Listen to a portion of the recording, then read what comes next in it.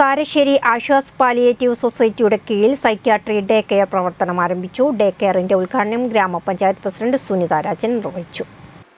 Karassery Aswas palliative സൊസൈറ്റിയുടെ കീഴിലാണ് psychiatry day care പ്രവർത്തനം ആരംഭിച്ചത്. രോഗി പരിചരണത്തോടൊപ്പം ഡയാലിസിസ് കിറ്റ് മരുന്ന് ഭക്ഷണ കിറ്റ് തേക്കുംകുറ്റി ഗവൺമെന്റ് ആശുപത്രിയിൽ ചായയും കടിയും വിതരണം തുടങ്ങിയ കാര്യങ്ങൾ ആശ്വാസ് ചെയ്തു വരുന്നുണ്ട്.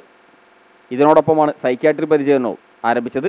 ഡേ കെയർ ഗ്രാമപഞ്ചായത്ത് പ്രസിഡന്റ് സുനിത രാജൻ ഉദ്ഘാടനം ചെയ്തു. Ashwas chairman K K Aliyasan അധ്യക്ഷനായി.